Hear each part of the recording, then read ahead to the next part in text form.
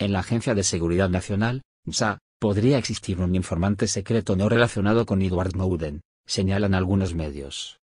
Esta opinión surgió en los medios tras publicarse en Alemania la información sobre los principios del funcionamiento del programa Skyscore, que la NSA usa para espiar a los internautas. Aunque los medios ya publicaron información sobre el programa, citando a Snowden como fuente, esta nueva revelación podría proceder de otro informante. Un experto ha dicho que cree que esta revelación viene de una segunda fuente, no de Edward Snowden, porque, punto. No lo ha visto en los originales de Snowden, además, ha visto otras revelaciones que también parecen independientes de los materiales del famoso informante, escribió el periodista Cory Doctorow. Si es cierto, es algo grande, punto.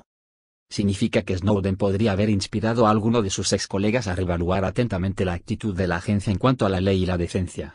Esta opinión ha sido respaldada por Bruce Schneier, quien trabajó con el periodista Glenn Greenwald para analizar los datos de Snowden, ya que Cory lo ha dicho, yo tampoco creo que esto venga de los documentos de Snowden.